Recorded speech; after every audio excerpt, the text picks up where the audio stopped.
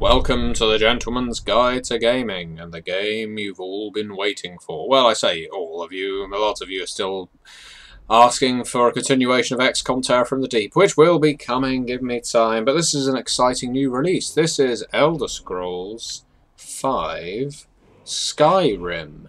Now, I'm going to get the obvious pun out of the way first. I have never been Skyrimmed myself, but I know one chap who has, and he says it's great fun on a Virgin Atlantic flight, providing the other chap has wiped first. Now, with that awful joke out of the way, and I've heard far too many people talking about being Skyrimmed lately, I think we should play. As you can see, I have no capacity to load because this is my first attempt at this game. So if we can ignore the people in the background, and the scrolls have foretold of blow. I hope you read it. Bethesda Game Studios presents. Oh yeah, there you go. I got presents before it came out. Sorry, sorry. Game of Thrones. That could be Sean Bean in the back there, except he did do the voice of one of the characters in the previous game. Now, I will say that I wasn't a huge fan of Oblivion, you know. I enjoyed it for the first part, uh, well, before it got repetitive, before it got samey, before I got tired of just going into random dungeons, killing increasingly difficult monsters, stealing the same old treasure, and oh, oh finally awake. You were trying to cross the border, right? Walked right into that Imperial ambush, same as us. And that thief over there. Damn you Stormcloaks. Skyrim was fine until you came along. Empire was nice and lazy. If they hadn't been looking for you, could have stolen that horse and been halfway to Hammerfell. You there, you and me, we shouldn't be here. It's these Stormcloaks the Empire wants. We're all brothers and sisters in binds now, thief. Shut up back there. What's wrong with him, huh? Watch your tongue. You're speaking to Ulfric Stormcloak, the true High King. Ulfric? The Jarl of Windhelm? You're the leader of the rebellion. If they've captured you... Oh gods, where are they taking us? I don't know where we're going, but Sovngarde awaits. No, this can't be happening. This isn't happening. Get a hold of yourself, hey, man. What village are you from, horse thief? Why do you care? A Nord's last thoughts should be of home. Rorikstead. I'm... I'm from Rorikstead. We will remember that name. Rorikstead, possibly. Good. Let's get this over with. Sure. Mara, Dibella, Kynareth, Akatosh, Divines, please help me. No offense, mate, but you need a wash. No, yes, Oblivion. I found. The military oh. governor. Shut up. And it looks like the Thalmor are with him. Damn elves. I bet they had something to do with this. Wouldn't surprise me. Meddling creatures, filthy creatures. Yes, yes. This is Helgen. I used to be sweet on a girl from here. Wonder if Vilod is still making that mead with juniper berries mixed in. Ugh. Funny. When I was a boy, imperial walls and towers used to make me feel so safe. If you've been to Cyrodiil, you'll know that any of the towers, forts, and so on outside of the main city are inhabited with monsters, so no wonder they don't make you feel safe anymore. Now, I promise I'm not mocking Oblivion. As I say, Oblivion was a very picturesque game. It looked absolutely fantastic. But I did find the gameplay very repetitive, and I, so I'm coming into this game with a very open mind. I am not going in. I haven't uh, read any previews, any reviews. Uh, I know very few spoilers. So I will let the game speak for itself. Face your death with some courage, thief. You've got to tell them. We worked with you. This is a mistake. Towards the block when we call your name. One at a time. Empire loves their damn lists. Ulfric Stormcloak, Jarl of Windhelm. It has been an honor, Jarl Ulfric. Ralof of Riverwood. Hmm, this isn't boding well. Lokir of Rorikstead. No, I'm not a rebel! You can't do this! Halt! You're not Oh dear. me. Archers! Run, run, you fool! Anyone Oh dear. Feel like running? How about that way? You there. Step forward.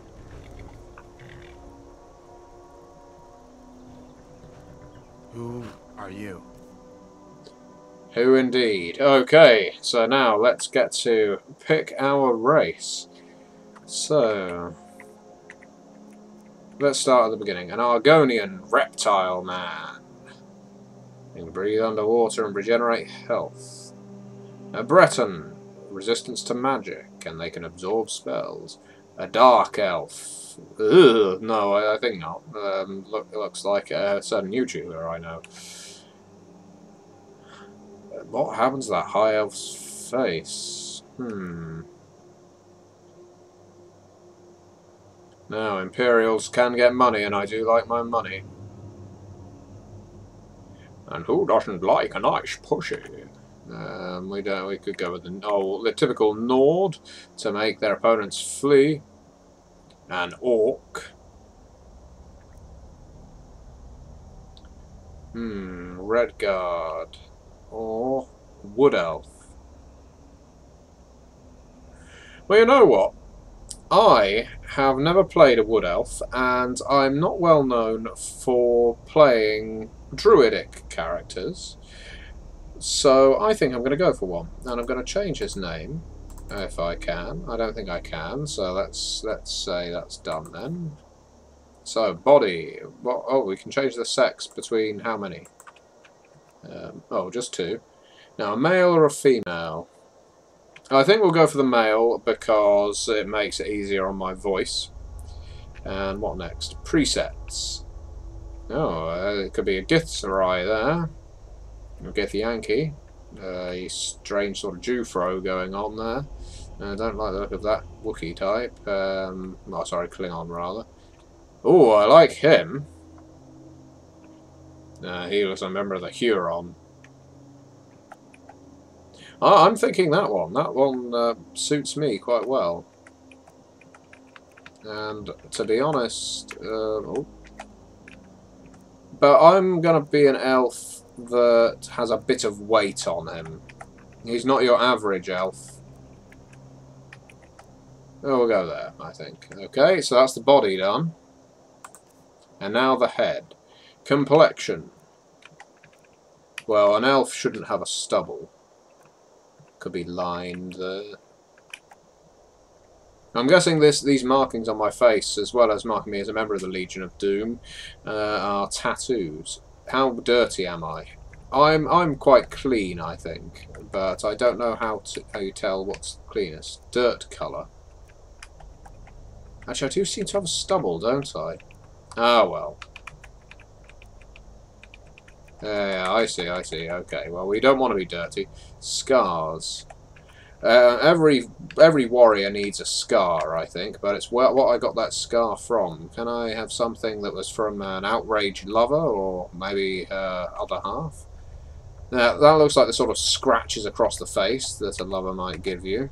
That doesn't. That looks like the sort of scratches across the face that a female may give you if she's trying to fend you off. Um, we will go for that one there. War paint. Oh, hello. Uh, why so serious?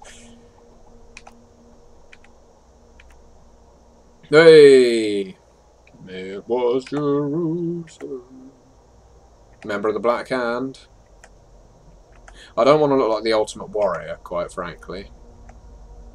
Although I am quite like digging the sort of Native American vibe with all this.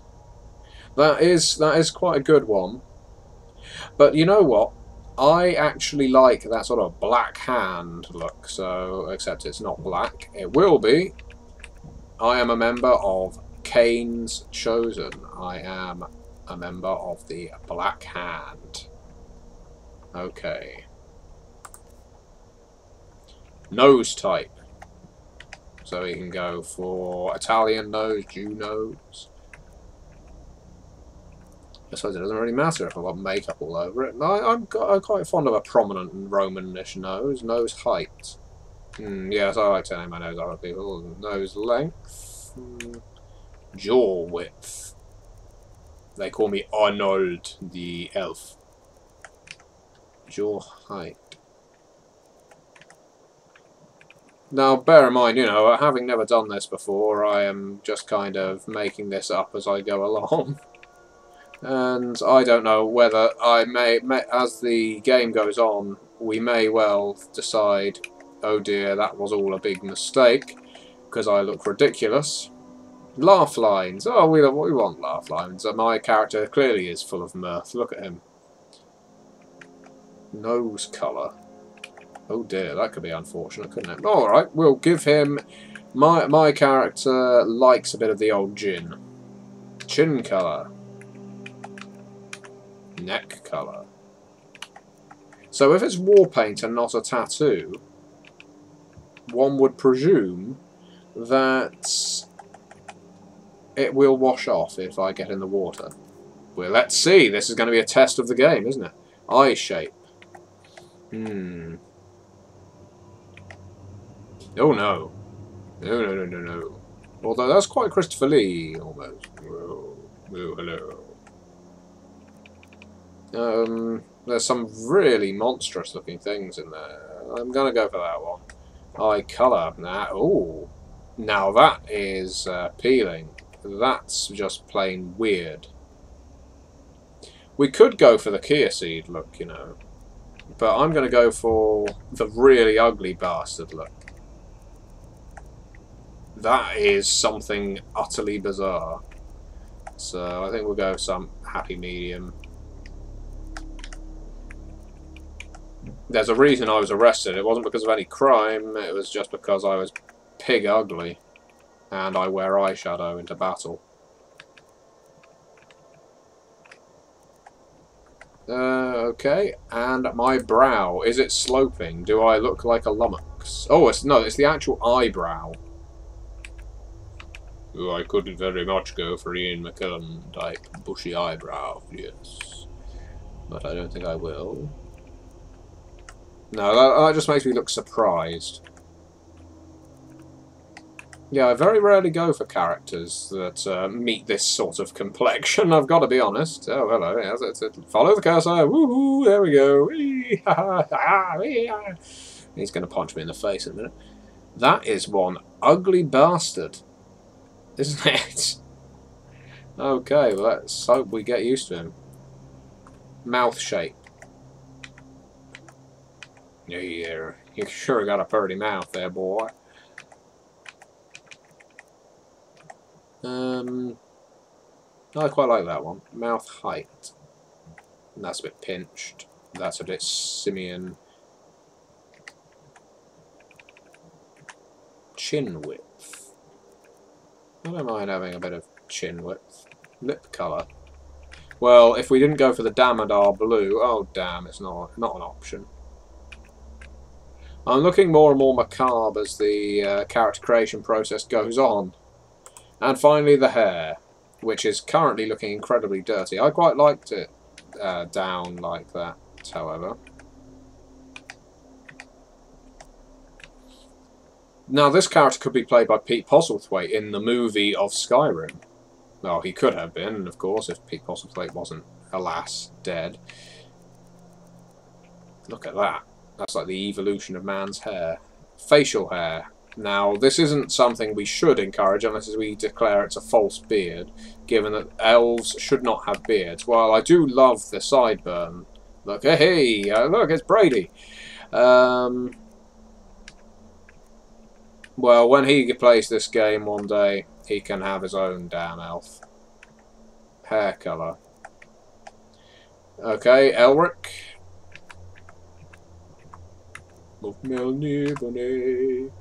No, it could go ultra black. Ah, there's Elric.